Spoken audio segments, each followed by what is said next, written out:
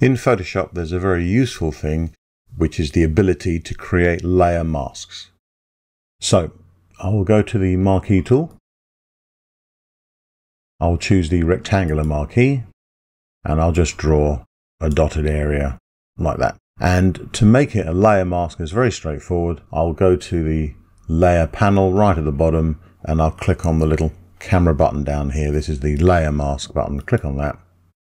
And there is our layer mask. Now, if I undo that, you can see my dotted line, uh, my dotted rectangle is sort of in the middle.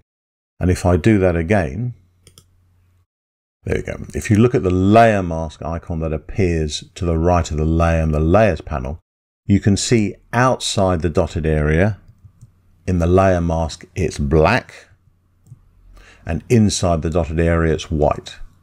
And that basically means black blocks. So wherever the layer mask is black, it blocks the layer and inside is white. It allows the layer to pass through.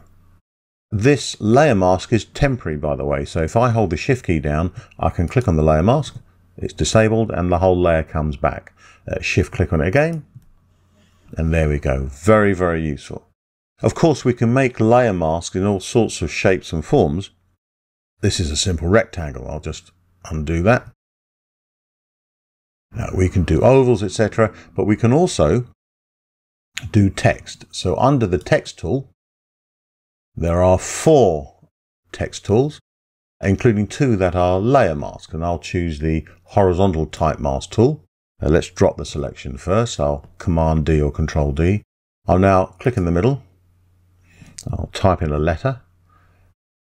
Command or Control, hold that down, and I'm now going to make this nice and big. There we go.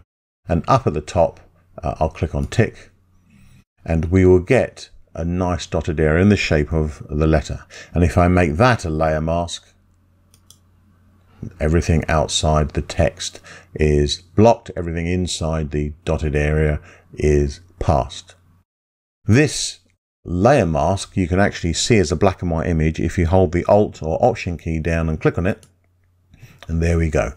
Now, I frequently call this a black and white image, but actually it's a grayscale image, except there's no grey here. So where it's black, the layer is disabled. Where it's white, the layer passes through. But if there was any grey, the pixels in the grey area would be opaque according to how dark the grey is. So the more dark, the more blocked or transparent it is, the more lighter the grey, the more the original pixels show through. And I'll click back now on our layer. And once we have the layer mask up, if I go at the bottom to the effects button, I can do things like drop shadow. There you go, you see, and let's choose a different color, a bit darker. So it works according to the mask, which is quite nice. I'll just do OK.